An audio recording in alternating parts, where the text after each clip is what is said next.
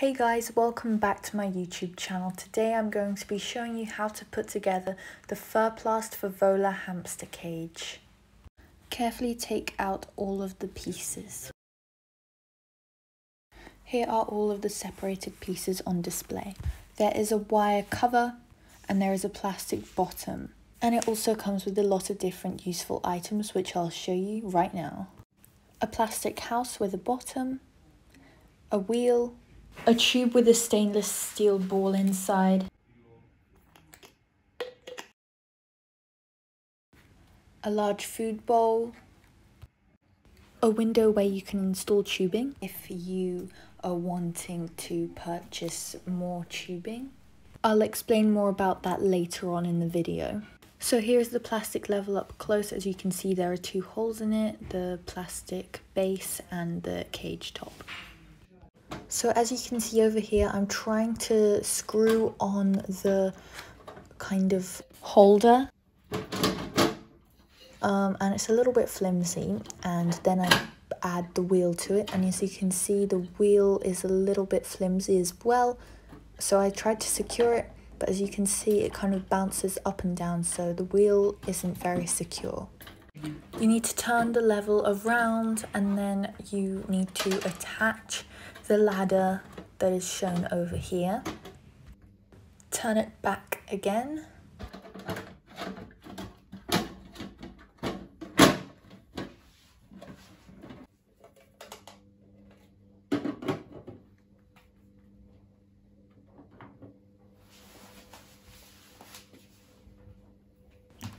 Add the wiring on top.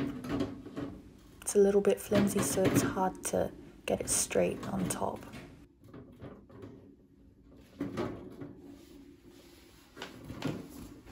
Pull the handles down so that they click. And then this is the window that I was talking about. So um, if you wanted to add extra tubing, you would use it.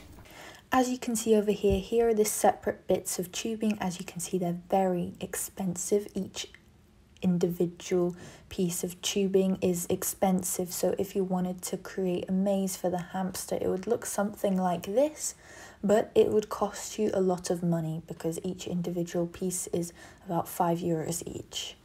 But I would still really want to add tubing to my cage like this person has done over here.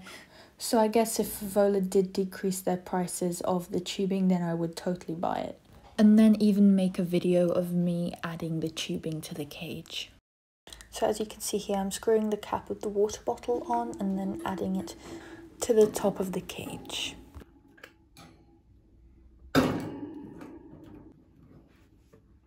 The cage itself is a little bit flimsy when you're trying to put it together. So as you can see, I'm trying to align it.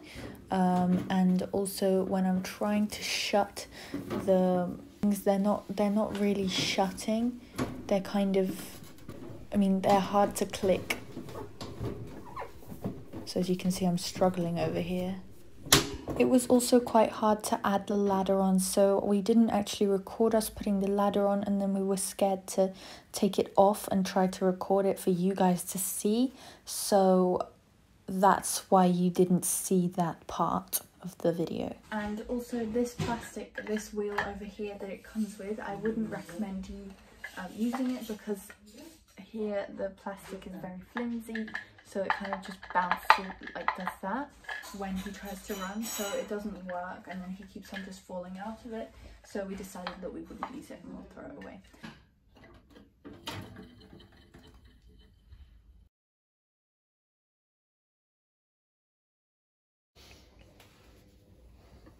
It was also quite difficult to secure the clear window onto the cage. And the cage itself is very big as you can add lots and lots of different toys that that your hamster can play with. And also there'll be a new video where I add his old toys from his old cage into his new cage. So in conclusion, you need to be careful when you put it together, but once you have um, aligned everything together and put everything together, it is actually, the cage is actually quite sturdy and it fits exactly in my little space that I've got. I also really like the little window that I've got at the bottom, uh, like the bottom space area, because I can see where my hamster is running around and there's also a lot of surface area, so in conclusion, it is a lot better than my other cage. I would just say that um, it's easy to break something when you are um, aligning everything together. Okay guys, so thank you so much for watching. Uh, this is his new cage right next to me. He's just sleeping at the moment. But um, thank you so much for watching. I hope you enjoyed this video and as much as I loved making it, um, making this cage. So yeah, bye!